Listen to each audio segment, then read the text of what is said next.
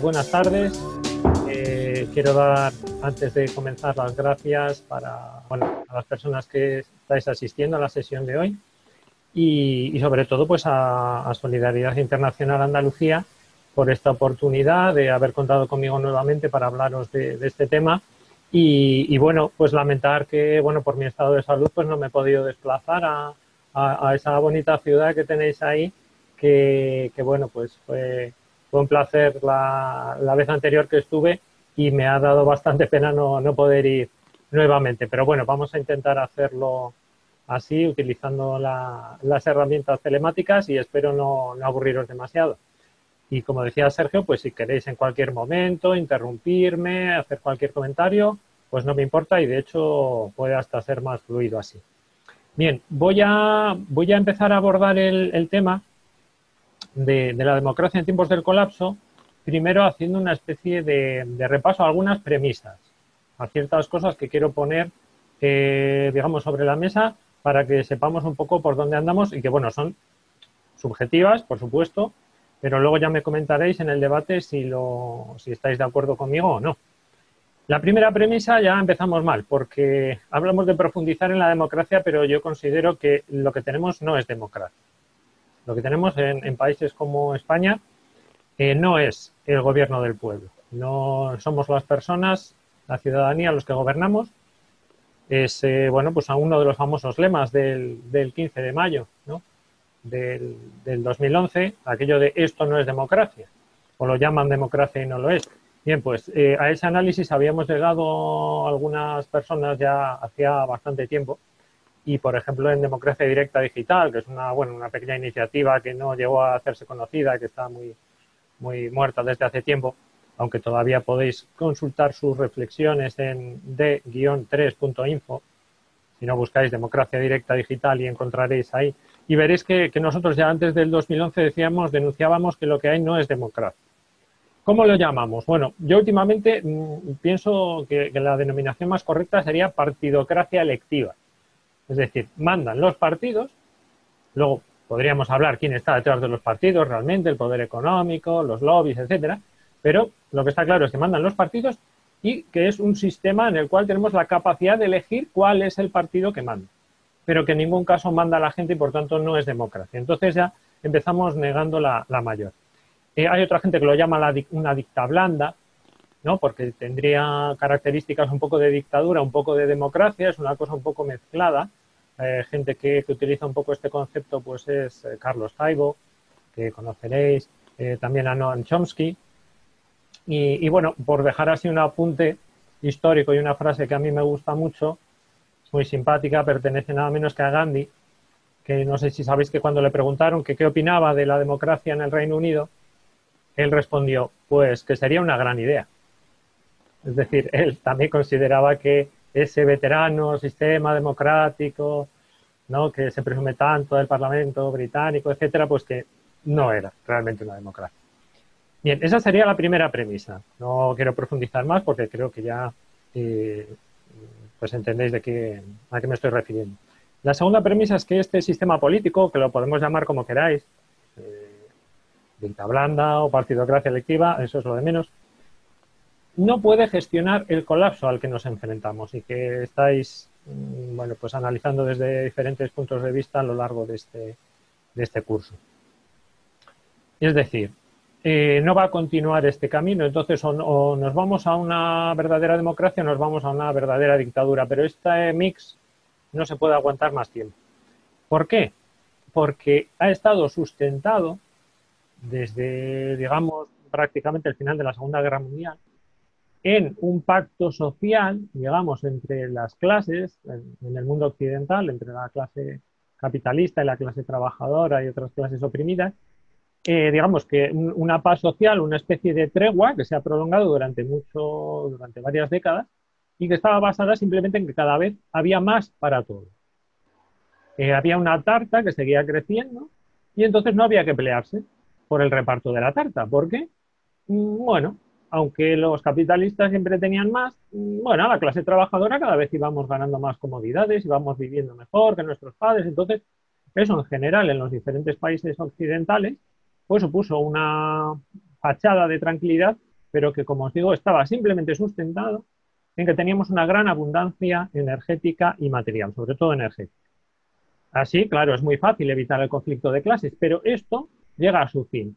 Estáis viendo, por los motivos que, de que estamos tocando con los límites del planeta y que ya habréis analizado en otros, módulos, eh, que esto de tener todos cada vez un poquito más ha acabado.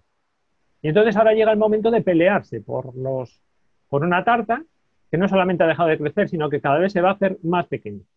Y entonces aquí es donde vuelve a surgir el conflicto de clase, entre otros conflictos. Entonces esa supuesta paz social y, la guerra de clases pues vuelven a su, en toda su crudeza y, e incluso también entre países, ¿no? que sería el otro aspecto. ¿no? Tenemos esta misma situación a varios niveles, ¿no? una supuesta, un supuesto orden internacional, entre comillas, una supuesta paz, aunque bueno, se han multiplicado las guerras en estas últimas décadas también, pero todo eso también llega a su fin a nivel internacional. Otra razón para, que esta supuesta democracia no pueda gestionar el colapso es un sistema muy poco resiliente.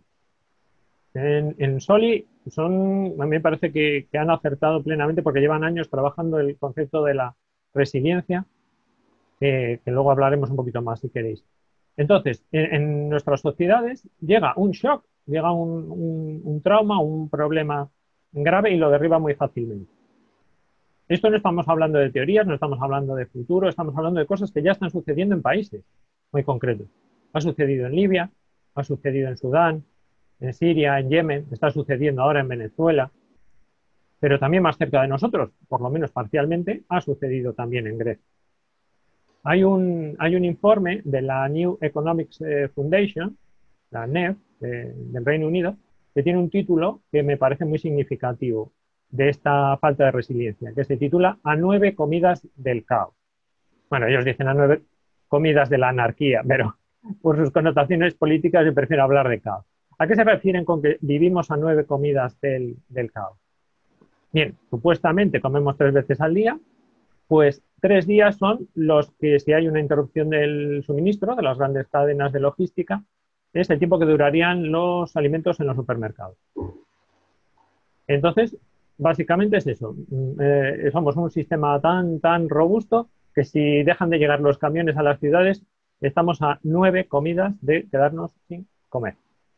Por lo menos en las ciudades. Bien. Entonces, volviendo un poco a, eso que decíamos antes de que si se acaba esta supuesta democracia, vamos a una verdadera dictadura o a una verdadera democracia. Sería lo, ideal, por supuesto.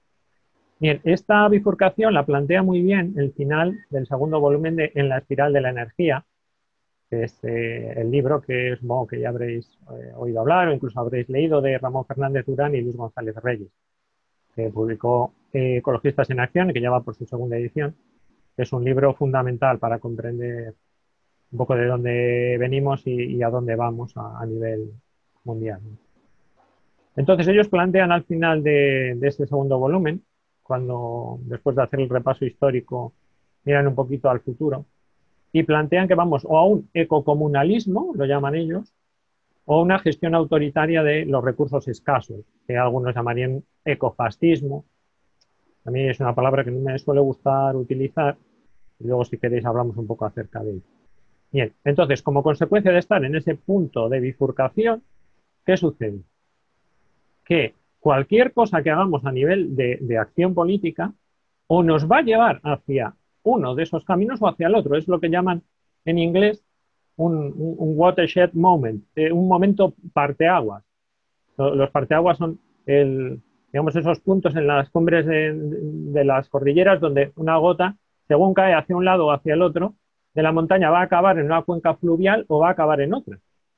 Y va a formar parte de un río o de otro. ¿no? Ese es el, concepto de watershed, que los ingleses lo suelen utilizar también como es un parteaguas, es decir, a, partir de aquí o nos vamos hacia un extremo o nos vamos hacia el otro, pero la gota no se puede quedar en, la cumbre, ahí en, un equilibrio precario. Entonces, ¿esto qué implica? Por un lado, eh, atención a cualquier retroceso en las libertades. No, no, hay que permitir ni un paso atrás porque eso no, sabemos claramente que nos va a llevar hacia este final de, la, verdadera dictadura. Ojo también a las nuevas formas del fascismo y a marcar líneas rojas, ¿no? porque van a llevar hacia ese, hacia ese lugar.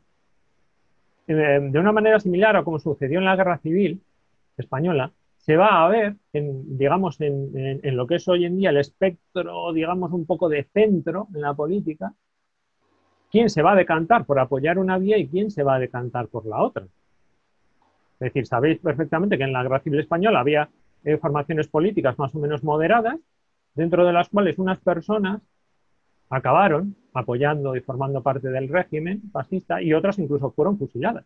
E, incluso eran compañeros de partido, por ejemplo. ¿no? Entonces, eh, aquí también va a pasar algo parecido que se va a ver que eh, el centro va a desaparecer porque se va a ir a los, a los extremos de esa verdadera democracia o la verdadera dictadura. Y como esto también es muy interesante, porque como en ese centro va a haber mucha indecisión, cualquier pequeña acción, cualquier pequeña influencia, cualquier pequeño toque de, aleteo de mariposa va a provocar una, tempestad al final en esa... Eh, puede decantar, por ejemplo, que opciones que hoy en día son moderadas o que no saben dónde situarse en esta cuestión, opten por una verdadera democracia o acaben en la gestión autoritaria ahí seremos muy importantes. Muchas veces olvidamos el, centro y, nos vamos a, otros extremos, que de eso también hablaremos después. Bien, em, también más importante hacer, aparte de esas pequeñas presiones, en esa gente que se va a decantar con un pequeño empujoncillo hacia un lado o hacia otro, las advertencias sociales y lo que yo suelo llamar la vacunación mental. que si luego podemos entrar un poquito más en ello.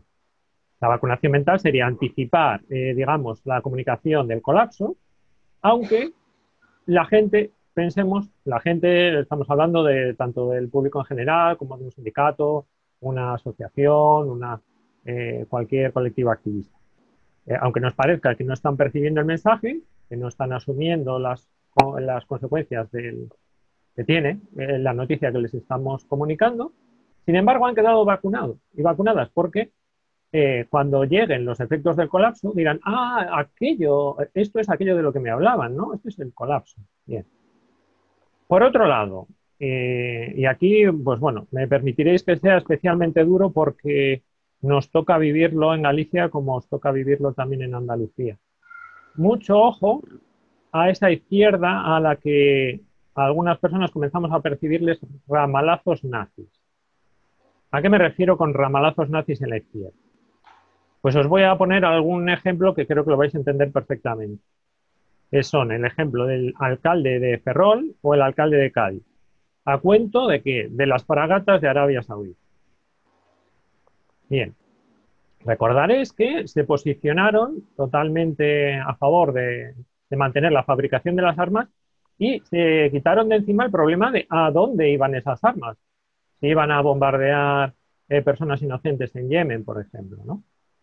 Entonces, eh, esto me ha llevado a plantearme a mí en qué se diferencian el alcalde de Ferrol o el alcalde de Cádiz de un Salvini, por ejemplo, que deja morir a los, a, los inmigrantes en, medio del Mediterráneo, ¿no? Y, y, tiene mucho que ver también con lo que yo hablo en mi libro de la izquierda ante el colapso, en un capítulo que titulo provocativamente Antes fascistas que sencillas. Es decir, esto es el riesgo que yo creo que ya está empezando a caer. La, cierta izquierda, de que antes de renunciar a ciertos privilegios, prefieren eh, optar por eso de los nuestros primero. Y los nuestros primero es la ruptura del internacionalismo y es la ruptura de los principios básicos de la izquierda. Entonces, eh, si no se hace decrecentista, mi, mi, posición es que es en esta gran bifurcación política, la izquierda tiene riesgo de convertirse en una fuerza más que opte por esa bifurcación nazi, esa bifurcación de eh, lo nuestro, o sea, políticas sociales y todo lo que quieras, pero solo para los nuestros. Y si para ello hay que se tiene que morir gente en un país lejano con las armas que hemos fabricado nosotros, pues que se mueran. Entonces, pues eh, e-, esto es consecuencia precisamente de esta situación de, de colapso en la que nos adentro. Bien. Por eso, cuando la gente reclama el ecosocialismo, que me parece una, opción política muy interesante y una de las pocas que tiene visos de, asegurarnos un futuro a la humanidad. Pues yo pienso que eso solo no basta, porque los nazis también eran socialistas, eran nacionalsocialistas. Y podemos, yo puedo imaginar perfectamente, no sé vosotras, un, una fuerza política econacional socialista. Es decir, que combine el nacionalismo excluyente con el ecosocialismo, pero solo para los de aquí. Y yo creo que esto se está alargando ya en las izquierdas españolas y me parece realmente eh, aterrador. Bien, para comprender estas fuerzas eh, que llevan a esa dictadura real, yo hay dos libros que os recomendaría, aparte de, bueno, de, otra bibliografía que, que, ha aportado a, Solidaridad Internacional y que supongo que os, que os habrán hecho llegar en el contexto de este módulo. Y esos libros son el informe Lugano de Susan George, no sé si lo conocéis, y Auschwitz inaugura el siglo XXI, Hitler como precursor, de Karl Americ. No sé si queréis que repita los títulos o los autores. Sí, el segundo. El segundo es Karl, como Karl Marx, pero con C. P-A-R-L, Karl Americ. A, M de Málaga, E, R de Roma, Y. Carl Americ. ¿Y el título? Y el título es un poco lioso, es Auschwitz, y luego se abre interrogación, inaugura el siglo XXI, y el subtítulo es Hitler como precursor. La tesis de Carl Americ es muy interesante. Yo este libro lo conocí por Jorge Rickman. La tesis de Americ, que él de pequeño conoció el nazismo, él, recuerda perfectamente haber visto a, Hitler en, bueno, creo que ya ha fallecido Amery, pero cuando lo escribió, él, recordaba perfectamente haber vivido los desfiles de, Hitler por su Alemania natal. Y mm, él luego estuvo muy implicado en el movimiento, en el surgimiento de Die Grünen, el, potente movimiento de los verdes en Alemania. Pues, pues este hombre, la tesis que dice es que mm, el nazismo, Hitler, etcétera, la solución final, el exterminio, el holocausto, todo aquello, que no fue realmente una excepción, una aberración de la historia y que nunca jamás se podrá repetir, sino que realmente se adelantó a su tiempo. Es decir, fue una especie de preaviso de lo que nos iba a venir en el siglo XXI. Y, ya os digo, os recomiendo, os recomiendo leerlo. Y, bueno, el informe Lugano es un, es un libro también más conocido seguramente que el de, que el de Amery, y plantea qué es lo que tiene que hacer el capitalismo para sobrevivir en el siglo XXI. Y básicamente la conclusión a la que llega es, una especie de informe apócrifo, ¿no? Susan George juega con eh, qué pasaría si los capitalistas reunidos en, pues no sé, en Davos, donde, eh, bueno, en, este caso era en Lugano, eh, se ponen a estudiar qué habría que hacer para que sobreviva el capitalismo en el siglo XXI. Y la conclusión a la que llegan es nada más y nada menos que hay que exterminar a buena parte de la población humana del planeta. Entonces, eh, con esto, pues se sientan las bases para comprender, aunque ninguno de los dos habla del colapso, ninguno de los dos libros habla del colapso. Pero si los leéis vais a entender bastantes cosas de, por dónde pueden pintar seguramente las cosas. Al menos lo que, lo que van a intentar ciertas fuerzas posibles, ciertas fuerzas políticas. Bien, mm, creo que me estoy enrollando bastante. Vamos a continuar con las premisas sí que eh, con el concepto de dictadura sí que simplemente querría dejar caer una idea sobre la que no tengo respuesta. Es, ¿sería posible una dictadura ecologista benévola? ¿Un ecoautoritarismo? Es decir, una manera de imponer normas, pero intentando hacerlo de la manera más humanamente posible, etc. Aquí hay algunos autores como Jorgen, Jorgen Randers, perdón, que es uno de los autores de los límites del crecimiento, que, podrían apuntar por ahí. Y, otro de los autores de aquel libro, de los supervivientes, es Dennis Meadows, eh, él dice una cosa muy interesante, que es que la democracia es realmente un experimento histórico para la humanidad muy reciente. Y que, y que de hecho no es la manera más eficiente por la que los seres humanos nos hemos regido a lo largo de la historia.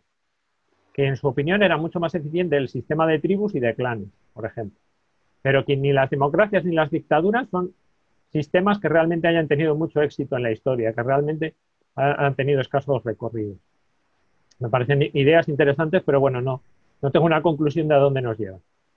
Bien, otra, la tercera premisa de, esta primera parte en la que quiero un poco dejar mis, ideas eh, presentadas. Vivimos en una sociedad que está infantilizada y drogada. Eh, ¿Qué tipo de drogas eh, son las que nos están afectando como sociedad? Por ejemplo, la dopamina, por medio de las tecnologías de la información. La dopamina es, una hormona que, se segrega en el cerebro, es la hormona de la novedad, la hormona, digamos, que nos tiene enganchados a Facebook, a Twitter, a las redes sociales y que también está muy relacionada con la ludopatía. Aquí hay, bueno, podéis consultar por internet, hay mucha información acerca de cómo Facebook abusa de, de esos chutes de dopamina para tener a la gente enganchada, etcétera. Por supuesto, también hay drogas duras, la, heroína, drogas sintéticas, los opiáceos sintéticos que están, están arrasando en Estados Unidos con, la gente. Esto de las drogas ha sido una estrategia usada históricamente eh, en muchos lugares y en, diversas épocas. Yo, por ejemplo, pues provengo de un lugar donde, hizo mucho daño, donde se utilizó mucho la droga contra la juventud vasca en, en los años 80, la juventud más radical y, también fue usada históricamente contra el movimiento de, por los derechos de la población negra en Estados Unidos, como sabéis, ¿no? Entonces, eh, ojo con eso porque eh, nos están drogando y esto es una premisa muy importante para, para buscar esa democracia, ¿no? Porque queremos que gobierne el pueblo, pero el, el pueblo lo tenemos totalmente hipnotizado, pues Luego tenemos el problema de, lo que se llama la infoxicación. O sea, la sobredosis de información que tenemos nos lleva a no estar en absoluto informados. Esto es algo que también cada vez se analiza más. Como un medio como Internet, que en teoría nos iba a proporcionar acceso a cualquier tipo de información y vamos a ser todos mucho más inteligentes, la inteligencia colectiva y todo esto, realmente entre la saturación de información, las fake news y todo esto, acabamos eh, realmente con menos información en, muchos casos de la que teníamos antes. Esto me lleva también a la necesidad, que es algo que en democracia directa digital siempre defendíamos, es que la democracia no es solamente poder votarlo y decidirlo todo, sino que es fundamental tener medios de comunicación controlados también por nosotros y por nosotros, es decir, por la ciudadanía. La democracia, digamos, mediática. Bien, eh, y también es muy interesante el concepto de guerrilla de la comunicación, que también si, buscáis en Internet vais a encontrar referencias muy interesantes, como un famoso libro que publicó hace ya bastantes años la editorial Virus, que está repleto de ejemplos y de teorías sobre la, la guerrilla de la comunicación. La guerrilla de la comunicación básicamente es cuando tienes pocos medios, no tienes una gran cadena de televisión, no tienes un gran periódico, no tienes un, web súper visitado, pues cómo puedes hacer llegar tus mensajes ¿no? con, tus pequeñas armas de guerrilla. Y lo triste es que de momento esta guerrilla de la comunicación, como en el caso de las fake news, la está aprovechando sobre todo la derecha. Bien. Por si fuera poco, a todo esto le sumamos una gran precarización laboral y vital que nos lleva a, eh, por supuesto, con la crisis de cuidados en medio de todo ello, que nos lleva a que nos roba el tiempo y que al final es realmente lo único que lo único que poseemos. Eh, el tiempo es realmente nuestra única posesión y qué es lo que hacemos con nuestro tiempo es realmente la única decisión importante o, fundamental en nuestra vida. Entonces, claro, sin tiempo, ¿cómo salimos de esa hipnosis de, los, de los medios de comunicación y de esa infoxicación? Es muy importante, eh, en consecuencia, buscar todas las vías posibles para liberar tiempo. Yo aquí no tengo ninguna solución, pero bueno, por supuesto el apoyo mutuo, el, realizar colectivamente todas las labores de mantenimiento de la vida y de reproducción social que podamos, compartir, salir del individualismo, pues yo creo que es la única vía para salir así de esa rueda interminable, ¿no? Del, del tener que dedicar todo tu trabajo o todo tu tiempo a trabajar para poder sobrevivir, para poder consumir, etc. Bien, y voy acabando con las premisas. La premisa cuarta, que es una premisa también mm, bastante dura y que le, bueno, ahí voy a citar a, a una persona que quizás os sorprende. Esta premisa viene a decir que a más población, Es decir, cuantos más seres humanos seamos, menos libertad. Una persona que, ya hace muchos años señaló esto fue Isaac Asimov, el famoso autor de ciencia ficción, que tenía una frase que decía, Democracy cannot survive overpopulation. Human dignity cannot survive it. Es decir, la democracia no puede sobrevivir a la superpoblación. Es decir, la superpoblación se carga la democracia. Y se carga también la dignidad humana. Porque cuantos más somos, tenemos menos recursos y vivimos de una manera menos digna. Esto me lleva a ese libro que citó Sergio al principio de nosotros los detritívoros, que tiene la tesis de que tras el final de la era de la energía fósil no podremos mantener el nivel de población actual que hay en el planeta, humano, Entonces, mm, simplemente si os interesa, eh, podéis ir a detritívoros.com. Allí tenéis varias versiones del texto, las versiones iniciales, que eran artículos, ha sido traducido a varios idiomas, y luego pues lo alargué un poco más en un libro, en un libro breve que ha sido reeditado, fue reeditado el año pasado. Y la última premisa, la premisa quinta, sería que no podremos volver a lo de antes. Hagamos lo que hagamos, no va a volver eh, un estado del bienestar potente, de la abundancia, la sociedad del consumo, etc. Al menos no va a volver para todo. Y ahí volvemos a lo de antes, a lo de las izquierdas con riesgo de acabar convirtiéndose en, parte de la solución Bien, por tanto, el colapso de, lo que hay ahora es inevitable, pero solo será malo, es decir, el colapso no tiene por qué ser malo, esto es también una idea que suelo repetir yo bastante a menudo, solo será malo si no lo dirige el pueblo, es decir, si dejamos que lo dirijan las élites ellos pueden eh, dirigirnos a un colapso que puede ser malo para nosotras y nosotros y puede ser bueno para ellos. O al menos eso creen. Porque después también sabemos que hay estudios que dicen que las élites, eh, socavando, digamos, a las bases, lo que hacen es únicamente postergar su propio suicidio y no pueden sobrevivir sin, sin nosotros y sin nosotros. Por tanto, quien lo pilote, quien pilote ese colapso que es inevitable, es la clave para saber cómo va a ser ese colapso. Y por tanto, ¿de qué hablamos? Pilotar un colapso, estamos hablando de democracia, de decidir, de gestionar. Estamos hablando de política, por eso yo hablo a veces de un colapso democráticamente gestionado.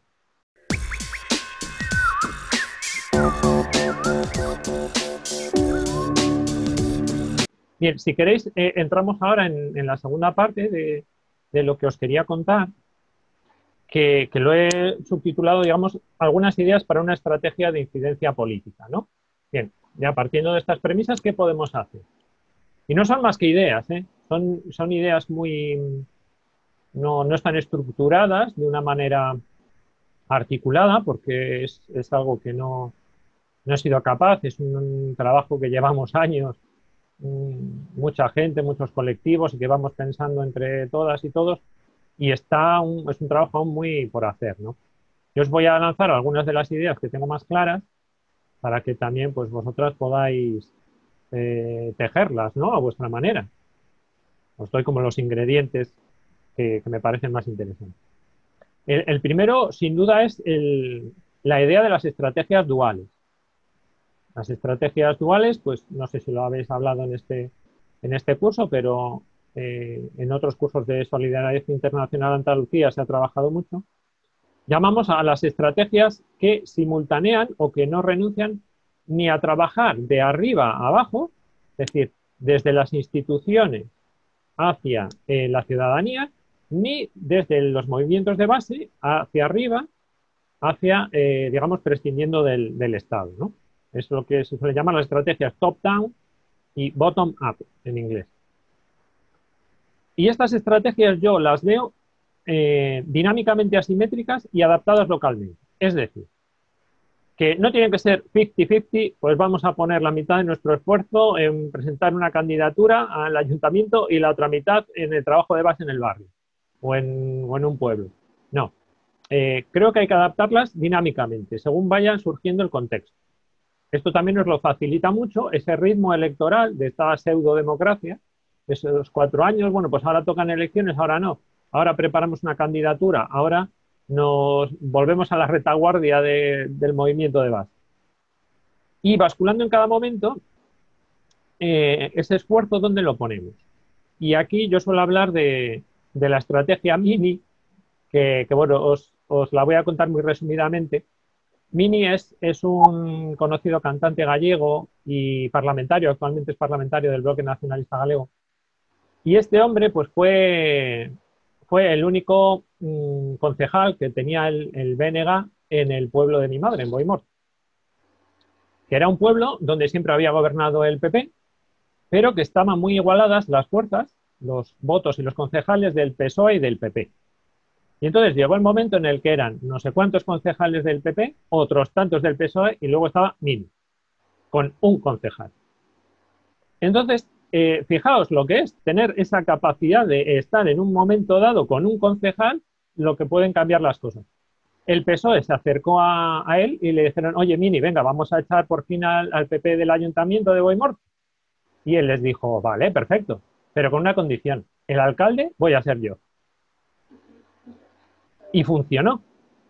Y funcionó. Y con un solo concejal abrió una, una temporada política muy interesante que eh, fracasó porque uno de los del PSOE, en el momento de constituirse el consistorio, se adscribió al grupo al grupo libre o, sin adscripción, o sea, eh, no se metió dentro del grupo del PSOE, con lo cual se saltó la ley de transfugismo, apoyó una moción de censura y le devolvió la alcaldía al PP al poco tiempo. Pero bueno, si quitamos ese factor de lado, lo dejamos de lado, Fijaos, en, lugares, lo que os decía antes, donde la cosa esté en un equilibrio muy precario y, un pequeño esfuerzo, pues ahí yo creo que hay que centrarse en la actuación top-down. O sea, hay que ir a ganar ese concejal o esa concejala y quizás forzar una alcaldía que pueda cambiar muchas cosas. Vale, ya sé que es una excepción y que no en todos los lugares está la cosa tan así como para poder ser llave, pero bueno, eh, lo he puesto de ejemplo para que veáis que hay que adaptar eso de la estrategia dual a cada momento y cada lugar. Bien, eh, ¿cuáles son las razones? Y, me voy a centrar en las razones top-down, o sea, para actuar desde las instituciones, ayuntamiento, junta, gobierno central. ¿Por qué? Porque me parece la menos obvia para gente que, bueno, que imagino que venís de los movimientos sociales y que no hace falta que os explique los beneficios de las actuaciones desde la base, ¿no? Sin embargo, muchas veces pues me encuentro con que la gente hay que explicarle, bueno, pues qué veo yo de interesante como para implicarte, meterte en ese pantanal que son las instituciones de una que además yo he denunciado como que no son democráticas y ahora estoy diciendo, no, no, pero es que, es que hay que utilizarlas, ¿no? En primer lugar, porque aún hay enormes recursos en manos del Estado. Entonces, si, renunciamos porque somos muy ácratas y no queremos tener nada que ver con el Estado y, no creemos en, el funcionamiento de, esas instituciones, estamos renunciando muy alegremente a un montón de recursos que pueden suponer un cambio muy importante para enfrentar el colapso para mucha gente. Como suelo decir yo, tener aunque solo sea el, el 1% de control de los recursos de un aparato estatal puede suponer la vida, la diferencia entre la vida y la muerte para miles de personas, no sé, de aquí a unos años. Porque puedes incidir, no sé, en políticas de dependencia, en políticas de cuidado, en, una concienciación social que puede llevar a gente a cambiar de vida, a volver a, los pueblos, a, no sé, a buscarse, eh, aunque solo sea con ese 1% de, o con una pequeña cartera en un, en un ministerio, en un, en un ayuntamiento. Por otro lado, hay problemas que, por supuesto, trascienden el nivel local. Si nos quedamos en los movimientos de base, es muy difícil llegar, por ejemplo, al tema de la defensa de la paz a nivel internacional. Acuerdos por el clima, eh, desmantelamiento nuclear, eh, qué hacemos con, las centrales nucleares, todo esto es muy difícil. Desde el, nivel local, la actuación desde la base se queda muy limitada. Claro, esto nos lleva también al tema de si construir la democracia dentro o fuera de las instituciones del Estado. Pues mi apuesta es hacerlo en ambos lugares y hacerlo de manera realimentada, o sea, no como si fueran dos compartimentos estancos que no tienen nada que ver. Hay que meterse en las instituciones para ayudar a los colectivos de base. Y hay que estar en los colectivos de base dialogando con, con las instituciones. Claro, pero ¿qué pasa si te bloqueas o te bloquean en las instituciones, ¿no? A pesar de todos los esfuerzos. Por supuesto, pasar todos esos esfuerzos fuera. Eh, ¿Conocéis el movimiento de Extinction Rebellion que ha surgido recientemente? Este movimiento, por ejemplo, opta, por supuesto, por actuar desde abajo, pero está actuando en, digamos, en diálogo con las instituciones, que son las instituciones que deslegitima totalmente. es que no habéis hecho lo que tenéis que hacer y, es un comportamiento absolutamente criminal y tenemos derecho a rebelarnos. Es un derecho perfectamente democrático. Esto me lleva a la premisa primera, no estamos en una democracia, por tanto estamos perfectamente eh, legitimados, como vivimos en esa dicta blanda, a rebelarnos contra él. Y aquí, pues bueno, tenemos eh, personas que no tienen ninguna sospecha de ser especialmente radicales, como es Federico Mayor Zaragoza, que opta directamente por eh, llamar a la ciudadanía a que se revele contra los estados, que organice boicots utilizando Internet, la telefonía móvil, etcétera, boicots contra los países que están bombardeando los acuerdos del clima, por ejemplo. Bien. Interesantes propuestas que ponen en el centro algo que no es ni el Estado ni el, ni el mercado, ¿no? ni ese capitalismo desenfrenado que querrían los neoliberales, sino en la comunidad. Digamos que ese es el eje de esa actuación o de esa opción ecocomunitarista que hablado.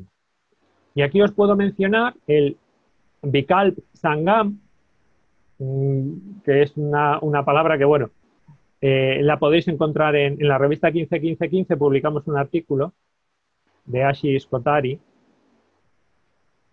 Vikalp Sangam. Esta es una, un proceso de confluencias muy interesante de alternativas que está sucediendo en India. No me voy a detener en ello porque sería largo de explicar, ¿no? Pero mm, os invito a leerlo en, el, en la revista 151515. Luego está lo que llaman el proceso de, constituyente o el proceso druida en Galicia, que es, bueno, es muy minoritario, muy poco conocido, apenas a nivel teórico, pero bueno, es interesante. Y eh, también me gustaría citar al, al, Institute for Community Solutions, el Instituto para las Soluciones Comunitarias, de la Fundación Arthur Morgan, o del Instituto Arthur Morgan, perdón, en Estados Unidos. En Estados Unidos también hay gente que apuesta por esa solución centrada en la comunidad. Y en cierta forma también es la opción del, ejército zapatista, el EZLN, o del confederalismo democrático del Kurdistán. Eh, y aquí voy a citar a Sean Evans, tú creo que lo conocerás, a menos de oídas, ¿no, Sergio? Del partido de Aterra también escribe en, nuestra revista. Y, voy a citar porque yo creo que lo expresa muy claramente, que tenemos el derecho y el deber de rebelión que se debe traducir en la no cooperación social, económica y política, en la desobediencia civil. ¿No? Pues suena, ¿no? A Extinction Rebellion. Pues esto ya lo decía Evans hace, hace tiempo. Y en crear institucionalidades alternativas para el autogobierno asambleario comunitario y la autogestión de las necesidades básicas. Este chico Evans eh, apuesta por una mancomunidad de comunidades vecinales como alternativa al Estado.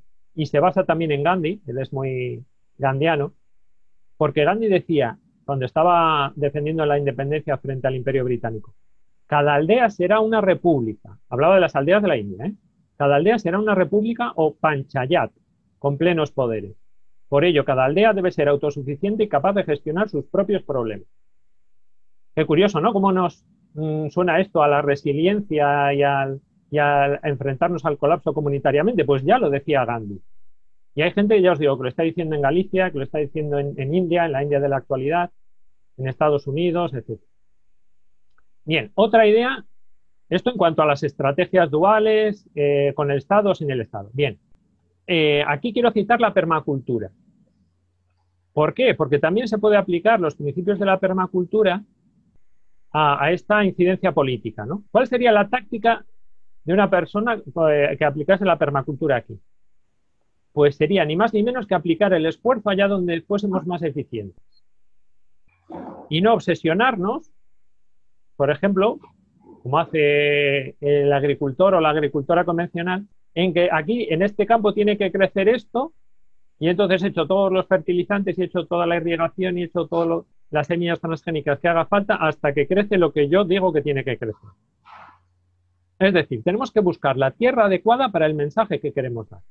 Al revés, No insistir, decir, no, es que a esta gente hay que decirle este mensaje del colapso, hay que actuar con ellos y, y obcecarnos y golpearnos la cabeza hasta que lo conseguimos. No.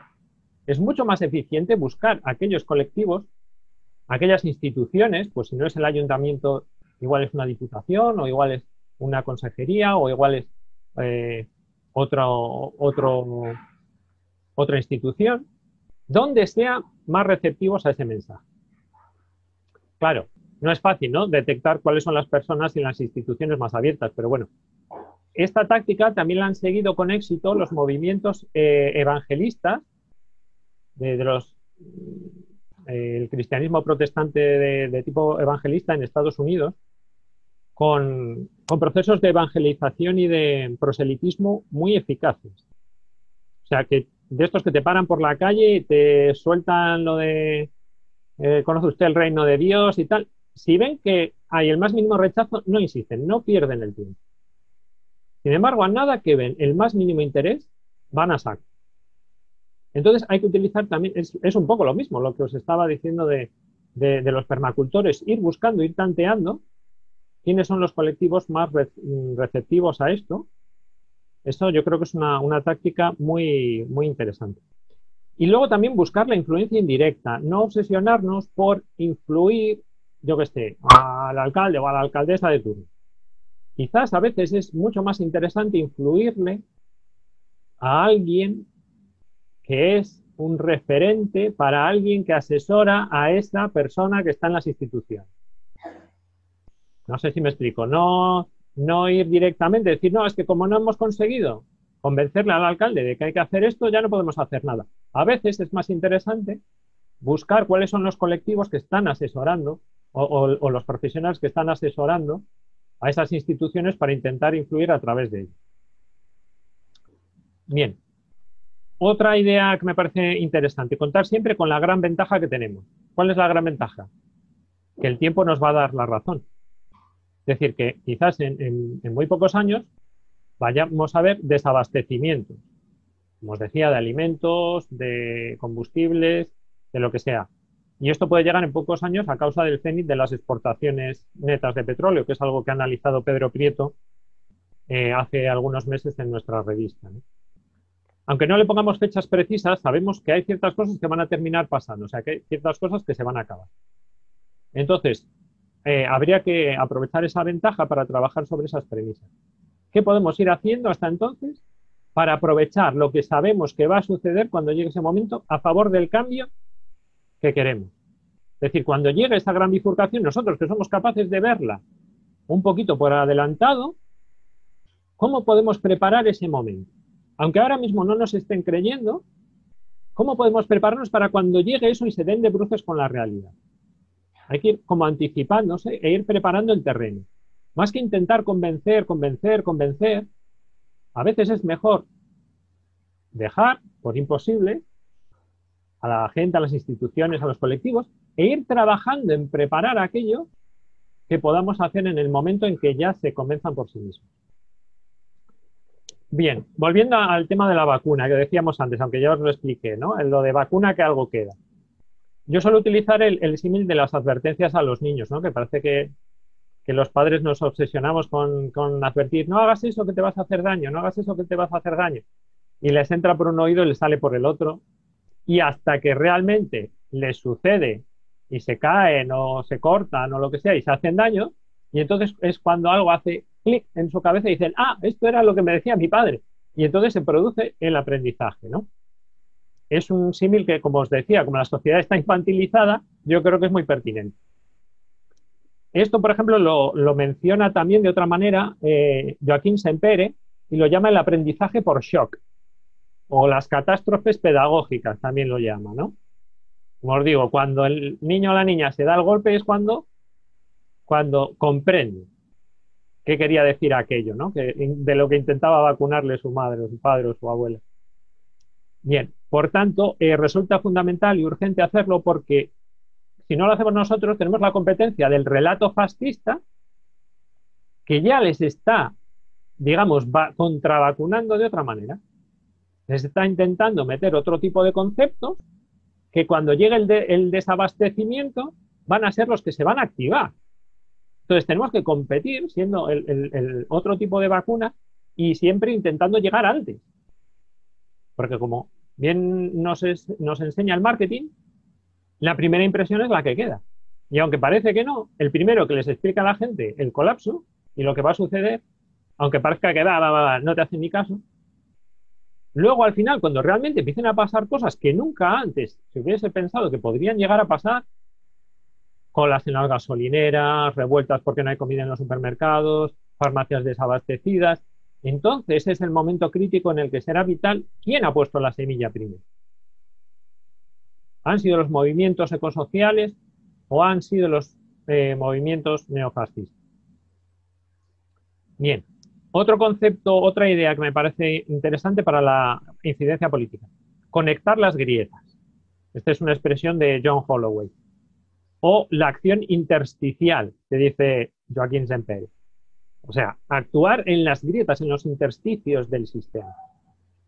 De la misma manera que el capitalismo no nació de la noche a la mañana, sino que nació de conectar las grietas que iban surgiendo en, el sistema burgués, perdón, que, que, la burguesía iba creando en el antiguo régimen, en el régimen feudal, de la misma manera podemos hacerlo nosotras, nosotros, ir conectando las grietas de lo que hay hoy en día.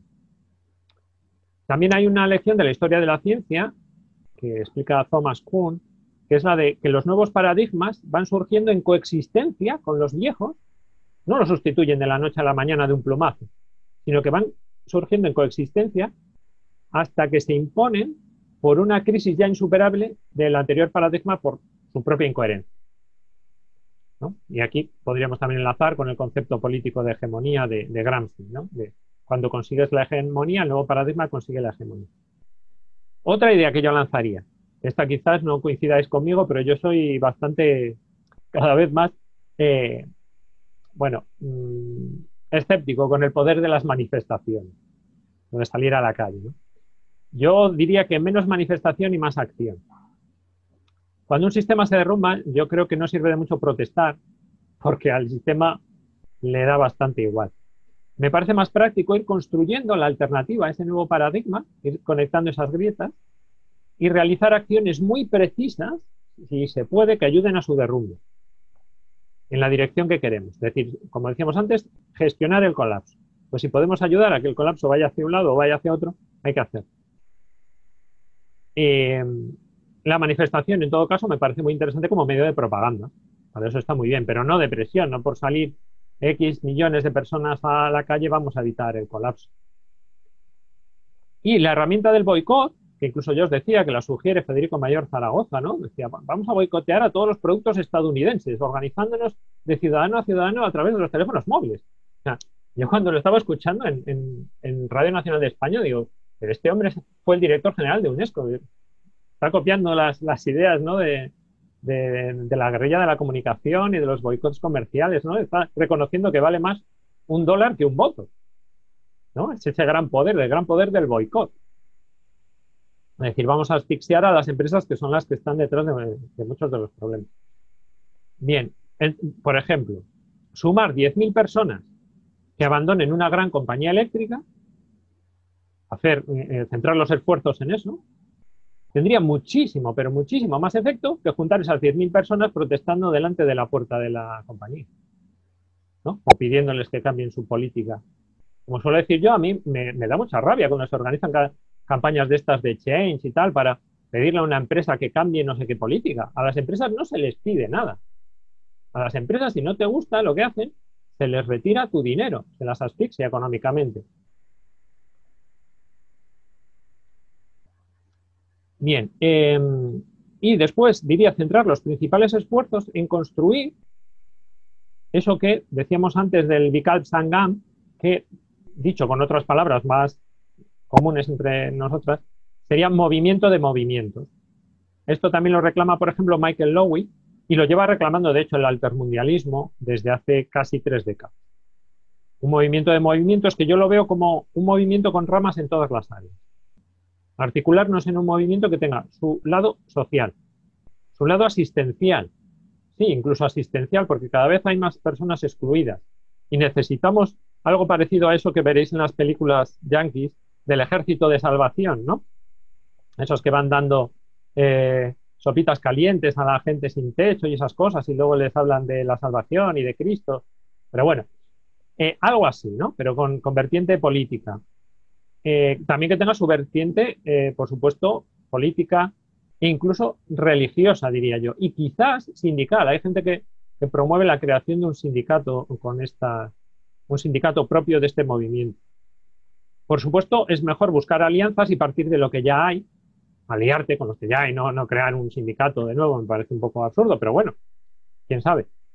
Y, y orientarlo todo a una visión hacia adelante. O sea, partimos de un diagnóstico general y, aquí yo haría una especial referencia al, enorme trabajo que está haciendo Solidaridad Internacional Andalucía o gente como Rompe el Círculo de Móstoles, que creo que los vais a ver en, otro módulo. Va, a venir alguien de Móstoles ¿no? a, a contarlo. Hay un gran trabajo de años de diagnóstico común entre todos los colectivos sociales de una zona. Eso me parece fundamental para articular este movimiento de movimientos y dar este gran salto. Por supuesto, hay que tener un marco general y unos pilares de mínimo sobre los que construir las alternativas. Y, aquí, pues bueno, de nuevo me voy al ejemplo indio del Vikal Sangam, que significa confluencia de alternativas, y el artículo de Ashish, Ashish Kotari. Os voy a escribir el nombre del autor. Ashish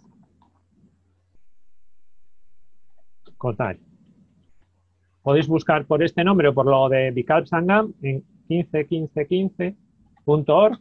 Hay un artículo que explica muy bien cómo articularon este, esta confluencia de movimientos alternativos en, India.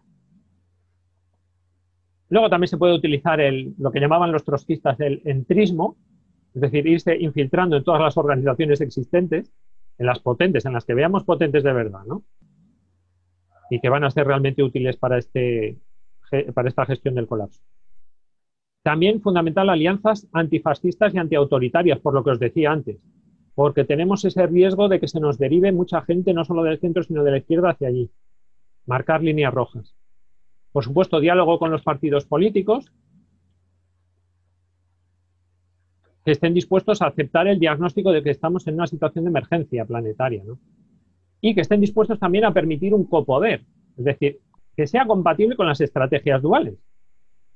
Porque si nos ponemos a hablar con las instituciones, pero nos dicen, no, no, pero tenéis que desactivar esa comunidad autogestionaria que estáis haciendo en no sé dónde, eso se tiene que quedar bajo control del ayuntamiento o del tal. No, o sea, eh, nosotros les apoyamos, por un lado, eh, cuando sea necesario, pero por otro lado ellos tienen que aceptar que somos independientes y que somos que hacemos la gestión de una manera independiente de, las instituciones.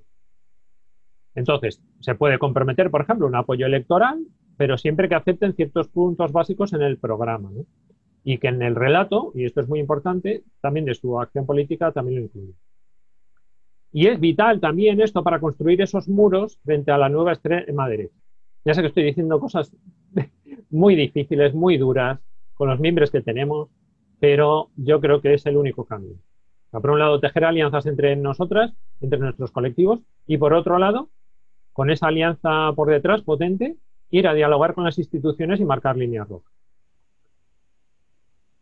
Bien, como os decía antes, esta estrategia de las sectas fundamentalistas evangélicas en los Estados Unidos a mí me parece muy interesante. Cómo han, mediante el proselitismo y la formación colectiva, o sea, se han ido autoformando la gente en sus casas, leyendo la Biblia, haciendo sus interpretaciones, invitando a sus familiares, a sus amigos, y poco a poco, año tras año, han ido colocándose, han ido aumentando de una manera exponencial eh, sus tentáculos y han llegado a colocar a uno de los suyos, que es Donald Trump, en, a la cabeza del país. es, una estrategia que lleva décadas detrás y que, bueno, la verdad sería, sería difícil llegar a, tanto en el tiempo que tenemos, pero bueno, es un ejemplo habría que extender el diagnóstico común más allá de los problemas concretos que serían los síntomas. Y por eso el diagnóstico compartido de la emergencia planetaria y el colapso social eh, me parece fundamental. Eh, antes hablaba de una rama religiosa del movimiento, bueno, no me voy a detener mucho en ello, pero bueno, hay gente que está hablando de una sacralidad no teísta, es decir, una especie de religión pero sin dioses, que sería básicamente en defensa de la vida, ¿no? Hay gente que habla de que estamos en una guerra santa, el capitalismo contra la vida Pues sí, se puede tomar desde un punto de vista religioso, ¿no? Como hacen los pueblos indígenas. Defender la vida, porque la vida es sagrada, ¿no? Y, quién está amenazando la vida? El cambio climático. ¿Quién está detrás del cambio climático? El sistema capitalista, etcétera. ¿No? Se, puede ver todo como en, en parámetros religiosos. Esto es muy interesante sobre todo porque el futuro se está jugando en el terreno del mito. ¿no? Estamos en, nos venden que estamos en un sistema muy científico, no sé si os habló un poco Marga de esto cuando habló de, la revista y de comunicar el colapso, pero realmente eh, cuando los científicos como ella se cansan de dar datos y de dar explicaciones científicas, al final se dan cuenta de que es inútil, porque lo que manda no es la racionalidad, no es la ciencia, es la religión del progreso perpetuo. Y entonces, para luchar contra una religión, contra un mito, hacen falta mitos nuevos. Hay que contraponer mitos. Y por supuesto, tenemos la ventaja de que podemos basar esos mitos en la ciencia, que nos está diciendo que la vida está amenazada y quién es el, que la amenaza. Muy interesante también utilizar metáforas para este relato alternativo, ¿no? Que demandamos, por ejemplo, las instituciones. ¿Por qué no pueden hablar nuestros políticos con metáforas como el subcomandante Marcos, por ejemplo? ¿No? El, EZLN, una de las cosas mejores que hizo fue cambiar ese lenguaje arcaico del marxismo-leninismo por el lenguaje de los indígenas. ¿Por qué no podemos hacer lo mismo nosotras y nosotros y nuestros líderes políticos? ¿Por qué no nos pueden hablar, por ejemplo, en términos de volver a casa, de los botes salvavidas, de que estamos en un Titanic que se hunde? Hay otras metáforas, el éxodo, bueno, salirse del sistema, hay unas metáforas un poco más light, otras más fuertes, pero bueno, es, un tema lingüístico que a mí me interesa bastante. Por otro lado, el tema de la población. Volvemos a lo que decía Simov, ¿no? De cuanta más población, menos democracia. Bien, el problema no solo es la población, sino el consumo que hace, esa población, lógicamente. No es lo mismo eh, un, un yaqui que 10 eh, somalíes, por ejemplo. Entonces, si tenemos ese problema, tenemos por un lado que rebatir el discurso de que la baja natalidad es un problema en España. Esta semana nos salía eh, Casado diciendo de que si apoya la maternidad, de que si el invierno demográfico en España, pero vamos a ver, hay que combatir ese discurso diciendo que no, que, ya hay demasiada gente en el planeta para el nivel de consumo que tenemos, y me remito al análisis que he hecho en los detritívoros, y que por tanto no es un problema de que necesitemos más natalidad. Quizá lo que necesitemos es repartir los recursos mejor entre la gente que ya hay en el planeta para intentar descender suavemente el número de personas de una manera lo más humana posible. Por supuesto, segunda conclusión, que hay que decrecer en el consumo. Tercera conclusión, que sacábamos de eso, asegurar un futuro a quienes opten por no tener hijos, por ejemplo. Puede ser el debate del futuro, no tanto las pensiones, sino decir, bueno, si se derrumba el Estado, si al final vamos a tener menos recursos y queremos que que, nazcan menos personas porque no, llegan los recursos para todos.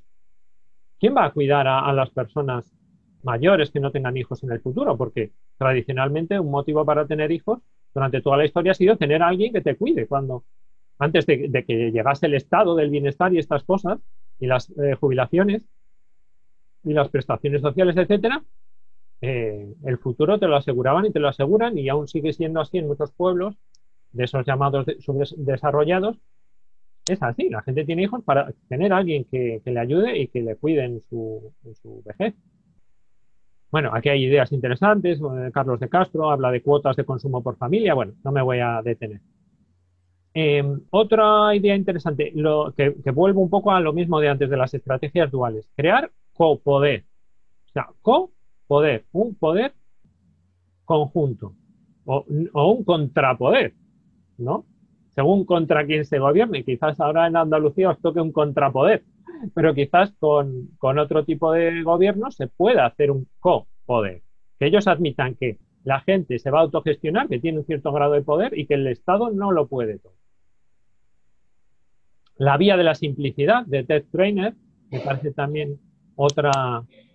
Eh, Ted Trainer, no sé si lo conocéis, os voy a escribir. Ted Trainer es un permacultor y un pensador ya muy mayor eh, australiano que tradujimos su, obra fundamental, La Vía de la Simplicidad, al castellano hace un par de años y, tiene una, propuesta muy interesante. Él habla de, crear lo que llama cooperativas de desarrollo comunitario. Volvemos a lo de ni el Estado ni el mercado, comunidad. Pues Tech Trainer es otro de los que apuesta por ello. Dice, creemos cooperativas a nivel local para ir como colchón para los excluidos de, este doble sistema que se derrumba, que es el Estado capitalista. Vale. Pero bueno, yo aquí diría que cuidado porque Ted Trainer, por ejemplo, en la parte top-down de la estrategia, él piensa que el Estado, bueno, como se va a, derrumbar, pues queda un poco igual. Pero yo diría que ojo porque se nos puede caer encima y, aún tiene muchos recursos, como os decía. Otra idea que me parece muy interesante, la estrategia del tic-tac de Canvat Yo, que yo esto lo descubrí gracias también a, Soli. Básicamente en Canvat Yo les ponían un tic-tac, les ponían un cronómetro a los, a los partidos y a las instituciones. Esto lo tenéis que hacer vosotros. Si no lo hacéis, lo haremos nosotros. Y, tomaban y ocupaban espacios públicos y lo hacían. A mí me parece una experiencia alucinante en el centro de Barcelona. Pero bueno, luego si queréis os cuento un poquito más. Más, más eh, detalles interesantes para el tema de la estrategia. Los cambios sociales no van poquito a poco. Los cambios sociales, esto lo, analizaron desde el punto de vista científico, el matrimonio Odum, Odum y Odum, Howard y Elizabeth, voy a escribir aquí, Odum y Odum. En su libro A Prosperous Way Down,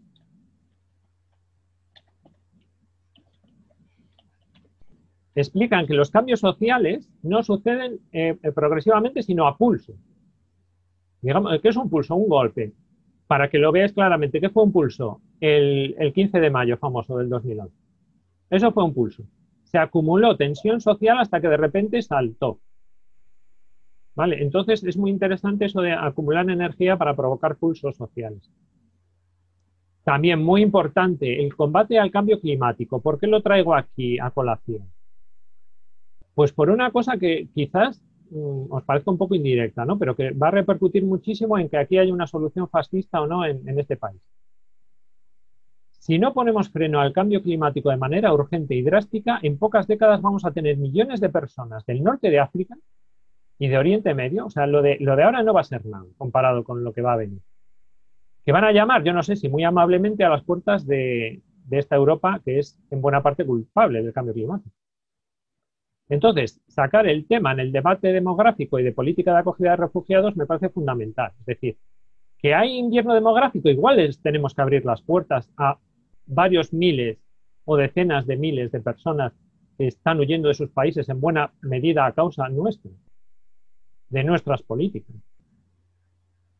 Y el tema de la política de refugiados ahora mismo es absolutamente insuficiente en España, la política de asilo a los refugiados es urgentísimo actualizarla, potenciarla, porque esos refugiados no van a dejar de llegar, van a aumentar, se van a multiplicar por mucho. Y si no lo hacemos, ¿qué va a pasar? Pues que van a estar los Salvinis y los Vox de turno eh, llevando el, agua a su molino. Muy importante también apoyar el movimiento ecofeminista. Yo creo que la, la clave de la lucha de las mujeres aquí también es fundamental, ¿no? Sobre todo cuando hablamos de esta guerra sagrada, ¿no? Del capitalismo contra la vida. Pues si, alguien yo creo que, demuestra que defiende la vida a diario, sois las mujeres. Por otro lado, la opción, estoy quizás yéndome un poco por las ramas, pero me parece fundamental tener estas cosas en cuenta. Eh, el tema del derecho de autodeterminación de los pueblos de la península ibérica. Yo creo que es muy importante aquí buscar una solución, que para mí sería la solución confederal, porque si no nos va a llevar a que los conflictos como el catalán, o, el vasco o incluso el gallego. Llega el momento en el que se enquisten y acaben explotando. ¿Y eso a qué puede llevar? A un golpe de Estado en España. O sea, eso lo sabemos perfectamente. Por tanto, buscar la mejor solución a eso y que no nos explote esa bomba de relojería sería mm, muy importante. Solidaridad a nivel internacional, alianzas con movimientos de otros países, por ejemplo, como barrera contra los econacionalsocialismos que decía antes. Movimiento antinuclear, tanto contra las centrales como contra las armas, etc. Más cosas. Prepararnos para las consecuencias de la desobediencia civil. Esto ya os hablarán en Extinction Rebellion, pero si hablamos de desobediencia civil, ojo, porque eso hay que, no hay que ser ingenuos, nos va a, a exigir un sacrificio importante. La democracia directa. Yo siempre digo, ojo con la trampa de la democracia participativa. Democracia participativa es cualquier cosa entre los dos polos Digamos que la democracia eh, representativa es un extremo del polo y la democracia directa es otra. Todo lo que hay en el medio es participativo. O sea que lo mismo les puede valer para decirte una cosa que prácticamente es democracia representativa. Yo suelo decir que, bueno, con todas las mm, pegas que le podéis poner, pero que necesitamos no una, sino cientos de marinaledas por todo el país. Mejorando, por supuesto, todo lo mejorable. Y las diferentes vertientes de la democracia, no olvidemos, democracia política sí, pero también económica, es decir, cooperativas, monetaria, es decir, monedas sociales al servicio de esa construcción de alternativas que hablábamos o de las cooperativas de test trainer o lo que sea. La moneda social puede ser un vehículo muy importante. Democracia mediática, lo que os decía antes, medios de comunicación en manos del pueblo, medios comunitarios también. Democracia a nivel internacional para todos esos problemas que citábamos y para evitar los conflictos. Fundamental de entre todas ellas la democracia mediática. ¿Por qué? Porque realimenta a las otras.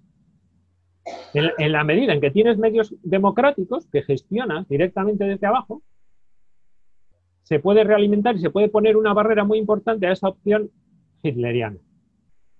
Y aquí me parece que ningún partido político se podría negar hoy en día a poner en control de una asamblea ciudadana los medios de comunicación públicos. Tanto en Andalucía como a nivel de España, a nivel local.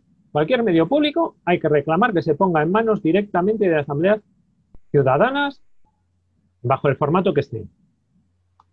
Y también, y muy importante, disputar el terreno de la radicalidad en el discurso a la extrema derecha. Esto ya hay alguna gente de la izquierda que lo empieza a reclamar, pero aún son muy pocos. Ellos se atreven a decir auténticas barbaridades y cosechan votos y escaños. Y a la izquierda parece que le da miedo hablar de expropiar la tierra, de repartir la tierra, que además son mensajes de toda la vida de la izquierda, o de nacionalizar los sistemas de energía. Y parece que es un tabú, o sea, están como con un miedo que la extrema derecha en absoluto lo, tiene. Y, bueno, eh, para, terminar, por supuesto, cuanta más resiliencia tengamos como sociedades, tendremos más posibilidades para construir la democracia. Así que todo lo que sea trabajar la resiliencia nos ayudará. Y voy a finalizar con una cita, si me permitís, de Nafed Ahmed, que es un escritor británico de origen árabe,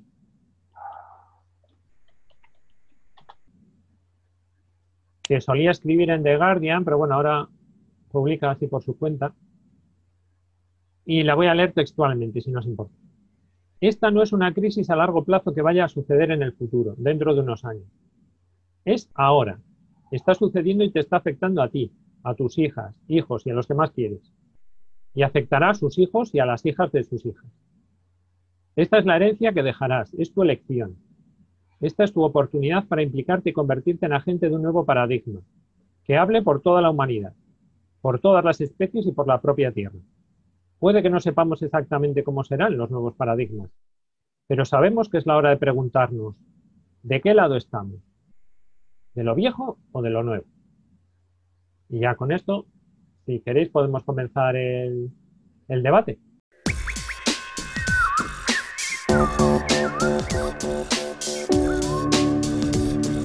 Eso no lo he explicado y a veces por, generalizar eh, incurrimos un poco en, en, expresiones que no son correctas. Efectivamente, esos dos caminos pueden tener múltiples expresiones relocalizadas, porque por supuesto con, el colapso lo que se acaba es la mundialización y se acaba, el sistema único. Durante toda la historia, lo que hemos tenido ha sido en cada lugar un sistema bastante diferente y solo se han empezado a homogeneizar con la globalización, primero con los imperios y luego con la mundialización eh, actual, ¿no? Eh, eh, incluso cultural, tecnológica, etcétera. Cuando todo eso se derrumba, por supuesto, se vuelve a la pluralidad, a ese multicentrismo, etcétera. Y de ahí surgirán diversos tipos, pues en un lugar seguramente pues habrá una federación ecoanarquista, en otro lugar habrá una ecodictadura benévola, en otro lugar habrá un, sistema absolutamente nazi, dictatorial.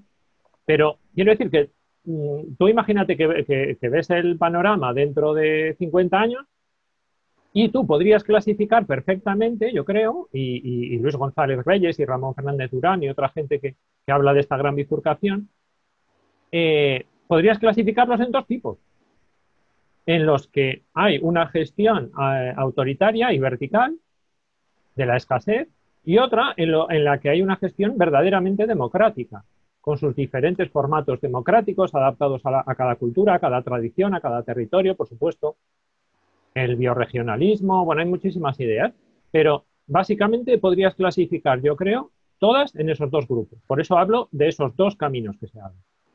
Y por supuesto, claro, también el hecho de que en, cada lugar el colapso vaya por barrios, ¿no? Como solemos decir, es decir, que a un, lugar llegue antes que a otro, va a hacer que en esa fotografía de dentro de 50 años, claro, igual todavía eh, eh, haya alguno que no haya, se haya situado en esos dos grandes conjuntos, porque estará en otra fase de su colapso. Igual ha aguantado un poco más, otros igual ya están ahora entrando en, esa fase, ¿verdad?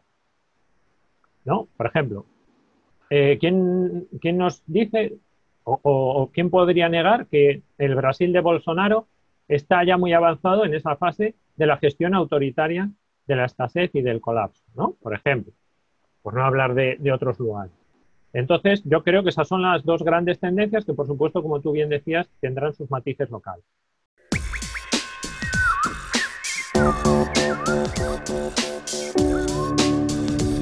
Bueno, del, movimiento Matria, la verdad es que lo, vi un poco cuando surgió, pero, pero no lo he seguido.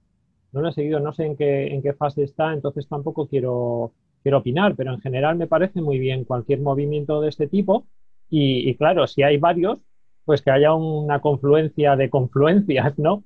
Que, que, es a veces igual lo más difícil, porque parece que como que algunos quieren tener más protagonismo o ser ellos los que lleven adelante esa, ¿no? Colgarse la medalla de, haber sido los que ponen la confluencia, pero bueno, yo creo que sí, mientras se vayan buscando esos mínimos denominadores, lo interesante sería siempre que entrase el concepto del colapso en, ellos, ¿no? Aunque sea de una manera sutil, como una posibilidad y no como una seguridad, ¿no? Que quizás es la manera más fácil.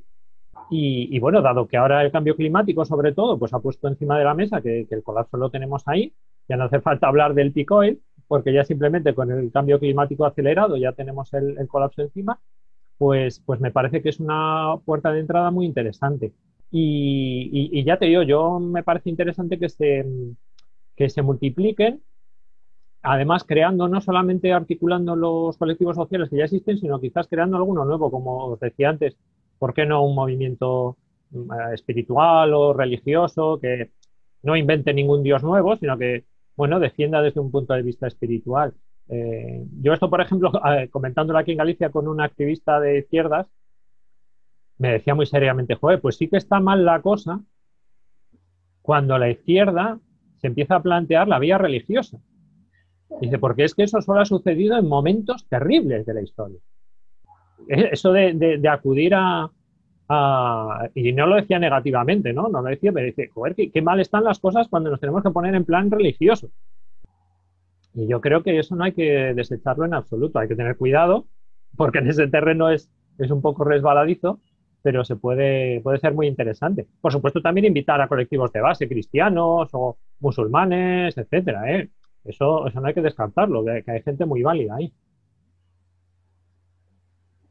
De hecho, hay incluso intentos de confluencia ecuménica, que se llama, entre diversas religiones para abordar el tema del cambio climático, de, los problemas de, la crisis ecológica, aunque bueno, están muy lejos de, lo que tendrían que ser, pero incluso las propias jerarquías religiosas, a mí me parece más interesante hacerlo por la base, pero bueno, las propias jerarquías religiosas también tienen sus reuniones y sus historias.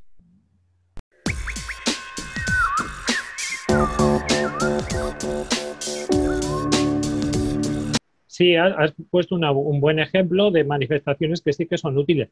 Pero volviendo a lo de antes, si, ese esfuerzo que se hizo para esas manifestaciones se hubiese hecho en que todas esas mujeres hubiesen boicoteado, no sé, claro, es que en este caso no ibas contra una empresa o no ibas contra algo concreto, pero si se hubiese utilizado el poder del euro, pues hubiese sido una quizás más potente aún, quién sabe. De todos modos, yo no niego que, en algunos casos algún tipo de manifestaciones puntualmente puedan ejercer una presión interesante. Yo creo que sí, o sea, tampoco renunciaría a ellas. Lo que dices del tiempo que, te consume en la participación institucional, pues claro que sí, es, tienes toda la razón. Y, eso que yo no he estado nunca ahí, pero, pero lo percibes, ¿no? La gente que sí está. Eh, por eso es lo que decía yo de dinámicamente adaptativo, o sea, lo vas adaptando en la medida de tus fuerzas.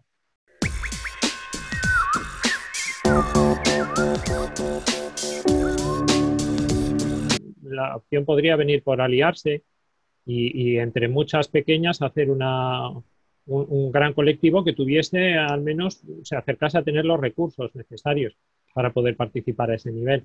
O si no, pues lo que decíamos, incidir en, los políticos para que, eh, o, adquirir cuotas de poder en las instituciones para que sean eh, esas instituciones las que lleven la voz de la ciudadanía a esas instancias supranacionales. No lo sé, no, no tengo claro el, ahí el camino pero sí que tengo claro que no hay que abandonarlo, como quizás sugieren algunos autores que, optan por directamente prescindir del Estado e ir todo a acción desde la base. Y entonces se olvidan de ese nivel ya directamente. Yo creo que no hay que renunciar, pero sí que es muy costoso buscar la eficiencia en ese nivel de actuación. Sí, sí, tienes toda la razón.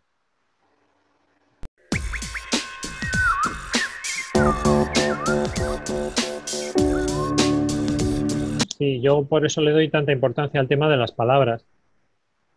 Que a veces pues algún, algún compañero pues mm, le hace gracia, ¿no? Lo, obsesivo que soy con el tema de lemas, por ejemplo, títulos de artículos, lemas de manifestaciones, etcétera, porque eh, es muy importante comunicar con las palabras, ¿no? Son las que configuran un poco nuestra manera de entender el mundo.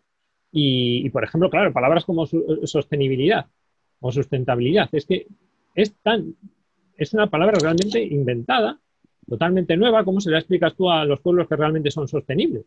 Tenemos que tú eres sostenible. ¿Y eso qué es? Eso ya quiere decir que es una palabra inventada, forzada, etcétera. O palabras tan vacías como verde, es un color. Ahora se habla de capitalismo verde o de economía verde o de cualquier cosa, ¿vale? ¿no? Entonces, mm, yo por eso soy muy eh, crítico con ciertas elecciones de ciertos lemas, ciertas palabras, y, bueno, yo creo que ahí tenemos que echar también mano de, la gente que sabe, ¿no? De la gente que escribe, de la gente que sabe de comunicación, de marketing, ¿por qué no? El marketing político, la comunicación social, las metáforas, las artistas y los artistas, yo creo que ahí tienen mucho que decir. A veces somos todo entre activistas, eh, eh, científicos y tal. Y, por ejemplo, pues no sé, por eso me gusta a mí tanto Carlos de Castro, porque tiene esa doble faceta de científico y además, pues escritor, ¿no? Y es capaz de inventar pues sus, sus mundos fantásticos que te transmiten cosas que, él te puede contar de una manera científica, pero te las transmite de una manera más potente. Yo no sé, solo, puedo apuntar un poco, tirar por ahí, ¿no? Y, por supuesto lo de que, es fundamental ser el primero, insistir, ser el primero en explicar que va a haber un colapso y bueno, ese colapso, pues, a ver qué metáfora eliges. ¿Le vas a hablar del Titanic? Dice, no, es que nuestra civilización es un Titanic. Ah, entonces vamos a evitar que choque. No, es que el Titanic además ya ha chocado y ahora se está empezando a hundir y de lo que tenemos que hablar es cómo organizamos los botes salvavidas y a dónde vamos con ellos. Bueno, pues un poco por ahí yo creo que pueden apuntar las metáforas y los, nuevos relatos.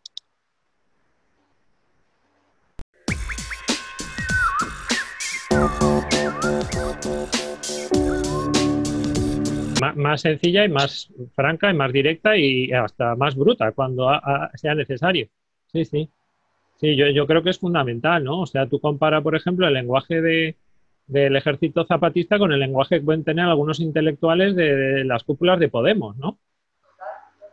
Que, a veces hasta pues, son objeto de ridiculización porque es que realmente mm, hablan en un nivel que, que, está muy bien para hablar entre ellos y a nivel académico y vienen del mundo académico muchas de esas personas, pero que, que con eso no vas a conquistar eh, hegemonías sociales ni culturales, ni cambiar el relato, la verdad.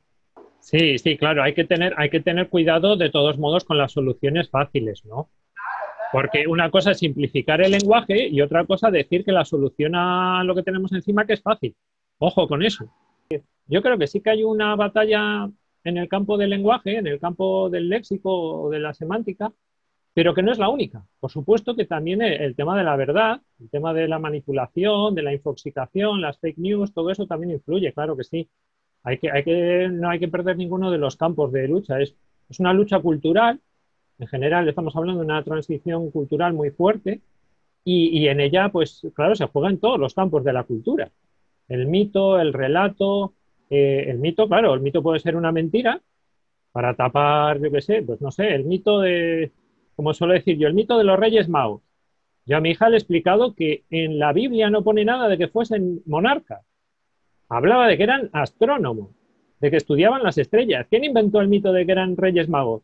Los monarcas de la Edad Media para autojustificarse. Es un ejemplo. Es un ejemplo, ¿no? Es decir, cómo a partir de un cierto dato histórico se pueden manipular las cosas. Eh, también el mito lo puedes crear para explicar una cosa buena, una cosa positiva.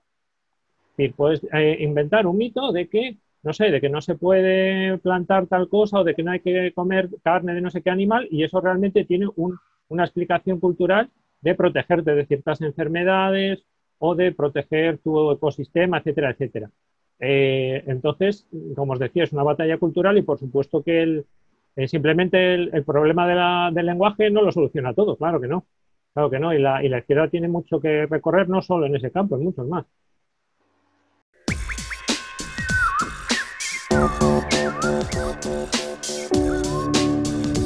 No, a ver, igual me, igual me he expresado mal. Yo cuando hablo de alternativas, y esto lo explica Cotari muy bien en su artículo, se habla también de alternativas que están funcionando. Eh, porque a veces hablamos de alternativa como una posibilidad de hacer las cosas de manera diferente. No, también son cosas que están funcionando de manera diferente. Y entonces, si, leéis el artículo, veréis cómo están conectando con esas premisas básicas gente que ya está haciendo cosas. Eso, es, eso multiplica muchísimo el valor. Porque además eh, se interconectan y, se, se, realimentan mutuamente. Y se aprende mucho. Hay un aprendizaje mutuo. Dirá, bueno, pues vosotros mira cómo estáis haciendo esto en este terreno o en este lugar, ¿no? Y se copia en otros campos o en otros lugares geográficos. Sí, sí, totalmente de acuerdo contigo. Es, e, e incluso remontarse históricamente a cosas que ya no están funcionando, pero que en su momento funcionaron, como suele hacer Tech Trainer con las comunidades anarcosindicalistas de la Guerra Civil Española, o de la Revolución Española, mejor dicho, que, transcurrió durante los primeros años de la guerra. Y para él son un referente de hasta dónde se puede eh, autogestionar una sociedad tanto rural como compleja, como era la Barcelona del 36, ¿no? Y que funcionó durante muchos meses de manera absolutamente autogestionada, sin Estado y sin empresas privadas que moviesen la ciudad, ni las fábricas, ni los transportes públicos, y se autogestionó. Entonces, e, eso, esa puesta en valor de las experiencias históricas también me parece muy importante. Sí, sí.